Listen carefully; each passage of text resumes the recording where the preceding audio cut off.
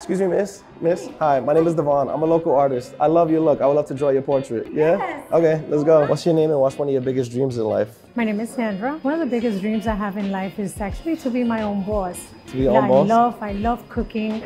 So I think I want to get into the restaurant business. What would be the name of your restaurant? I think I want to name it Eatery Emporium. Something diverse. Well, that's awesome. What are you most excited about in life right now? Accomplishing my goals and Yeah. my dreams, not that my daughters are older. I love this necklace. Where's this from? It was a gift from my daughters. It's actually a wing. It's the Wonder Woman wing. Thank you, thank you. Thank you so much.